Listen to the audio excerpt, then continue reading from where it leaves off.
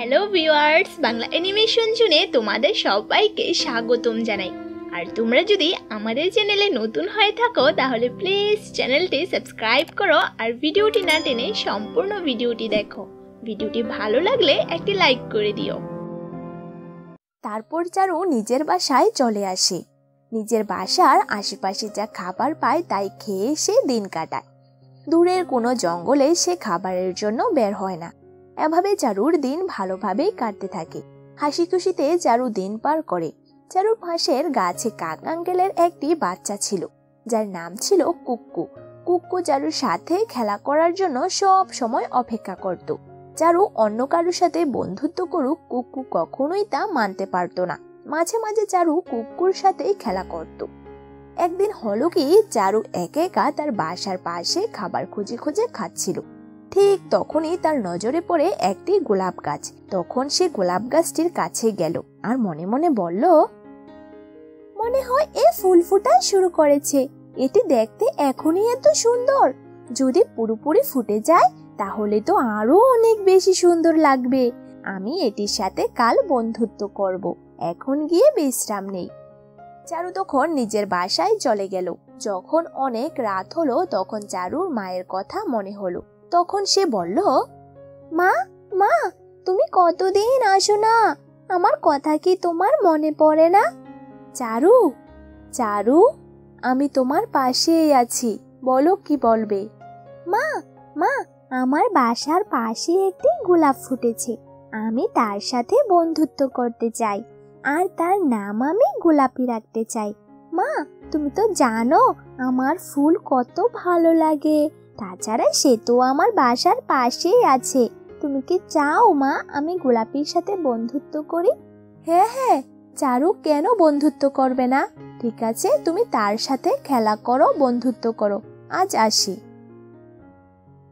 তারপর চারু ঘুমিয়ে পড়ে। যখন সকাল হয়, তখন সে গোলাপির কাছে গেল। আর গোলাপিকে বলল, ওয়েলকাম, ছোট গোলাপ! ওয়েলকাম! তুমি কোথা থেকে এসেছ? আমি তোমার প্রতিবেশী। আমার নাম চারু।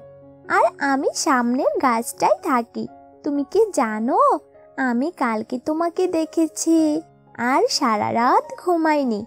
এই ভেবে যে তুমি কি আমার সাথে বন্ধুত্ব করবে? আমি তোমাকে প্রতিদিন পানি এনে দেব, তোমাকে দেখে রাখব। আর তোমাকে একটি সুন্দর নাম দেব। আমি তোমাকে গোলাপি বলে ডাকবো। তোমার সাথে আমি খেলা করব। চারুর কথা শুনে গোলাপি তখন বলল আমি রাজি আছি। আজ থেকে আমি তোমাকে বন্ধু হিসেবে স্বীকার করলাম। এভাবে দিন কাটতে থাকে। চারু গোলাপির সাথে খেলা করে। আর গোলাপির জন্য পানি এনে তার ঢালে ও পাপড়িতে দেয় যার কারণে প্রতিদিন গোলাপি দেখতে সতেজ ও সুন্দর লাগে। ঠিক তখনই কুক্কু সেখানে আসলো আর বলল চারু তুমি এখানে? আমি তোমাকে খুঁজে খুঁজে হয়রান। চলো চলো আমরা খেলাধুলা করব। তাহলে চলো আমরা সবাই মিলে খেলা করি। চারু আমার তো শুধু তোমার সাথেই খেলাধুলা করতে ভালো লাগে। না তুমি চলে যাও। আমার গোলাপির সাথে খেলা করতে অনেক ভালো লাগে। তুমি তো এমন ছিলে না চারু। তুমি তো আমাকে ছাড়া কারও সাথেই খেলাধুলা করতে চাইতে না। এখন কিন্তু তুমি একদম ঠিক করছ না। আরে আরে কুকু তুমি কেন রাগ করছ? চারু তো ঠিকই বলেছে। চলো আমরা সবাই মিলে বন্ধুত্ব করে একসাথে খেলাধুলা করি। আর আমার সুগন্ধি তো তোমাদের দুজনকেই দিতে পারব। হ্যাঁ ঠিক। যখনই সন্ধ্যা হলো তখন তারা আবার তাদের বাসায় চলে গেল। কিন্তু কুকু চারুর সাথে গোলাপের বন্ধুত্ব কিছুতেই মানতে পারছে না। কুকু তখন মনে মনে বলল আমাকে গোলাপের বাচ্চাকে কিছু একটা করতেই হবে যেন চারু কষ্ট না পায় আর গোলাপি যেন শেষ হয়ে যায়। পরদিন কুকু সকাল সকালে গোলাপির কাছে চলে গেল। আর গোলাপিকে বলল আচ্ছা গোলাপি তুমি যে এক জায়গায় দাঁড়িয়ে থাকো তুমি বোর হয়ে যাও না। না তো আমি তো কখনো এমনটা চিন্তাও করে দেখিনি। হ্যাঁ কীভাবে চিন্তা করবে বলো? চারু তো প্রতিদিন অন্য জঙ্গলে পাহাড়ে নতুন নতুন অনেক কিছু দেখতে পারে। আর এগুলো সম্পর্কে তোমাকে কিছুই বলে না। গোলাপি তখন অনেক অবাক হয়ে বলল কি কি আছে পাহাড়ের ওপাশে? পাহাড়ের ওপাশে হাজারো ফুল আছে যারা তোমার মতো গোলাপি ফুল। তুমি তো এখানে একা ওখানে তো সবাই মিলে খেলাধুলা করে গল্প করে আনন্দ করে। গোলাপের সাথে যখন কুক্কু এসব কথা বলে ঠিক তখনই চারু সেখানে আসে। কি হয়েছে এখানে? ঠিক আছে আমি তাহলে চলি। কি হয়েছে গোলাপি বন্ধু? তোমাকে খুব উদাস উদাস লাগছে। কোনো সমস্যা? না না তেমন কিছু না। একটু খারাপ লাগছিল এই জন্য যে পাহাড়ের উপাশে আমার মতো অনেক ফুল আছে। আমি জানি না গোলাপি। আমার মা মারা যাওয়ার আগে আমাকে বারণ করেছিল যেন দূরে কোথাও না যাই। তাছাড়া মাসির বাড়ি থেকে আসার পরে আমি আর দূরে কোথাও যাইনি। ব্যাস এ পর্যন্তই। আমি দেখতে চাই। পাহাড়ের উপাশে এমন কি আছে? তুমি একটা ফুল আর তোমার সতেজ প্রাণ ও জীবন সব কিছু তুমি এ মাটি থেকে পাও। গোলাপি তুমি মারা যাবে তোমাকে এখান থেকে উঠানো হলে। তুমি তো আমার বন্ধু তুমি কি আমাকে পাহাড়ের উপরে নিতে পারবে না? তোমার থেকে তো কুক্কু অনেক ভালো সে আমাকে পাহাড়ের ওই ফুলগুলোর কথা বলেছে। আচ্ছা তাহলে এই কথা কুক্কু তোমাকে এসব বলেছে।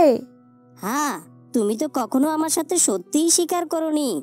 সব কিছু মিথ্যা। কুক্কু তোমার আর আমার বন্ধুত্ব সহ্য করতে পারে না। তাই সে হিংসে করে তোমাকে মেরে ফেলতে চায়। এরকম কিছুই না। এরকম কিছুই। এ কথা শুনে গোলাপি চারুর প্রতি অভিমান করে ফেলে। চারুর দিকে আর তাকায় না। এদিকে সন্ধ্যা হয়ে যাওয়াতে চারুর ঘরে ফেরার সময় হয়ে যায়। যাওয়ার আগে গোলাপিকে বলে তুমি আমার সাথে রাগ করছ কেন? আমি প্রতিদিন তোমার জন্য পানি আনি। ব্যাস অনেক হয়েছে। কালকে থেকে তুমি আমার জন্য আর পানি আনতে হবে না। চারু নিজের বাসায় এসে তার মাকে ডাকতে থাকে আর বলে মা কুকু আমাদের বন্ধুত্ব সহ্য করতে পারে না। সে গোলাপিকে বলে পাহাড়ের অন্য ফুলের কাছে চলে যেতে।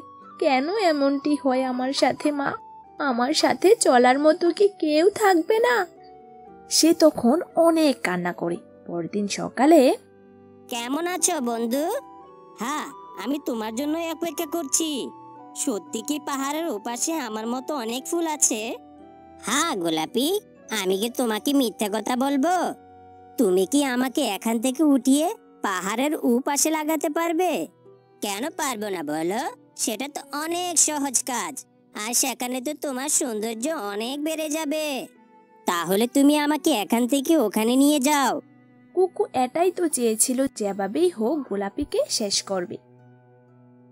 কুকু আস্তে আস্তে নিয়ে যাও যেন মাটি পড়ে না যায়। তুমি চিন্তা করো না গোলাপি। কুকু তখন গোলাপিকে উঠিয়ে নিয়ে যায়। চারু তখন এসে দেখল যে গোলাপি সেখানে নেই। গোলাপি গোলাপি তুমি কোথায় চলে গেলে? মনে হয় গোলাপি কুকুর কথা শুনেছে। আমাকে এক্ষুনি গোলাপিকে বাঁচাতে হবে। আমি তো কিছুই দেখতে পাচ্ছি না, কুকু। আর আমার ভীষণ কষ্ট হচ্ছে। মনে হয় কিছুক্ষণের মধ্যে মাটি আর পানি না পেলে আমি মারা যাব। আমাকে মাটিতে রোপণ করে দাও, বন্ধু। কে? কে তোর বন্ধু? তোর কারণে চারু আমাকে অবহেলা করে। আমরা আগে একসাথে খেলাধুলা করতাম। যেদিন থেকে তুই এসেছিস, সেদিন থেকে চারু আমাকে সহ্য করতে পারে না। আর আজকেই তোর শেষ দিন। যা, খোঁজ কর তোর সাথের ফুলদের।